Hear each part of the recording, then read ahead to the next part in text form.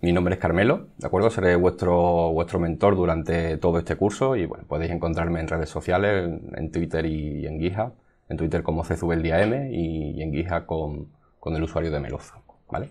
Voy a presentarme un poco para, para que me conozcáis. eh, bueno, os he puesto aquí en esta presentación representaciones gráficas de, de muchas de las tecnologías con las que trabajo, trabajo actualmente y, y he trabajado en el pasado. Eh, me dedico profesionalmente a la administración de sistemas. Mm, durante estos últimos 13 años, pues bueno, he estado eh, administrando muchos servicios web, servicios de VPN, en fin, todo lo que podéis, imaginar que, conlleva, la administración de sistemas.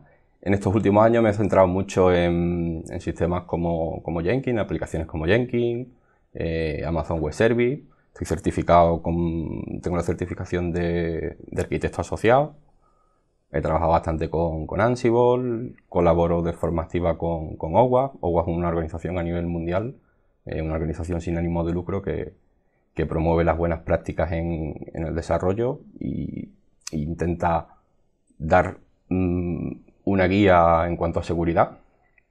¿Vale? Y bueno, muchos contenedores en Docker, que he trabajado bastante con ellos. Y bueno, estoy haciendo mis pinitos en Java y, y bueno, me gusta bastante Python. ¿Vale?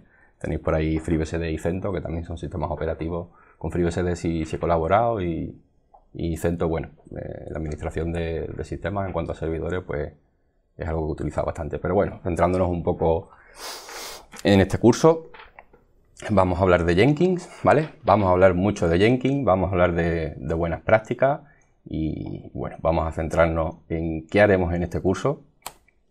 ¿Vale? La idea inicial eh, era poneros un poco en contexto, ¿de acuerdo? Al principio vamos a hablar de, versionado, vamos a hablar de testing, vamos a hablar de buenas prácticas para intentar abordar, ¿vale? Eh, que es la integración continua, la entrega continua, el deployment continuo. Y bueno, ¿qué vamos a hacer en cuanto a práctica? Eh, teníamos dudas al principio de, eh, de qué tipo de aplicación podríamos desarrollar para que la integraseis con Jenkins y bueno, eh, al final no nos decantamos por, ningún lenguaje en especial y, lo que quisimos hacer fue crear contenedores, ¿vale?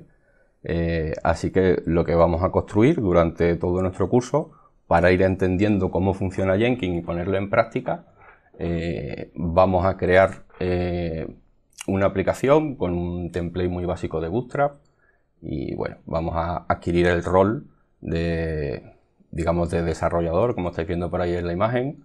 Vamos a integrarnos con, con GitHub.